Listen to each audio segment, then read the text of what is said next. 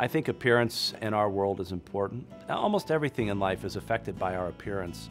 And I think it's okay to have the belief that appearance is important and for us to focus on appearance. This is her from the front. You know, a nice smile. I know this tooth really doesn't, it kind of bothers us a little bit, so we can talk about the options and how we can help you with that. The first step for me is to create an environment in the clinic. This is a very privileged environment, and we're going to talk about appearance in ways that you wouldn't at home or at school. What's their childhood going to look like? What's the future going to look like for this child? Allowing somebody that freedom to be honest is a big part of, I think, doing my job. It's a kid-friendly place. They make the kids and the parents feel safe, almost like a guardian. It's really nice to get to talk families through what to expect, helping parents understand transition to school, if there are any learning difficulties their child might be having as a result of their craniofacial condition. So you guys don't know anything, which is where a lot of families are when they come in. They don't know yeah. what to expect. Okay. It's important to have a psychologist on a team for a couple of reasons. First is that we get to educate families about the emotional experience of having a child with a craniofacial condition. So when they come to see their multidisciplinary team, we assess growth and development, school functioning, emotional behavioral functioning, social functioning, and that gives us a good chance to check in and see what's new.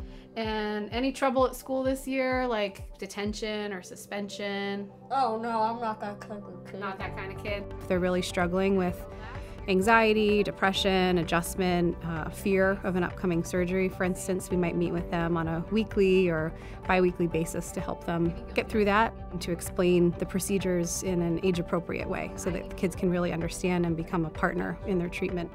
Some kids that go through hard times, they go to Dr. Leanne Magee and she mainly helps them get through it. We can help families think about themselves as parents, as community members, and as role models for their children, which can often mean helping them have the space to uh, express anxiety, fear, and grief that can come with a diagnosis. It doesn't matter who I meet here at CHOP, it, it doesn't matter what the day is like. Somebody is, you know, there holding your hand, asking you what you need.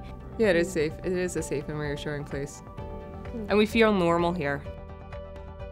These are healthy, normal kids who are growing and developing and having all the same milestones. Sometimes they're a little delayed, but they get there. And we want our families to be able to celebrate all of that stuff that comes along with having a child. One of the programs we have, for example, is our fall cleft and craniofacial picnic, where all the kids get together here right on the CHOP campus. And I think it's great for the kids because it shows them, hey, you know, I have a deformity in my eye, but so does that kid. I'm not alone, you know? We have the opportunity to help families see beyond their child's diagnosis, and that allows that kid then to thrive.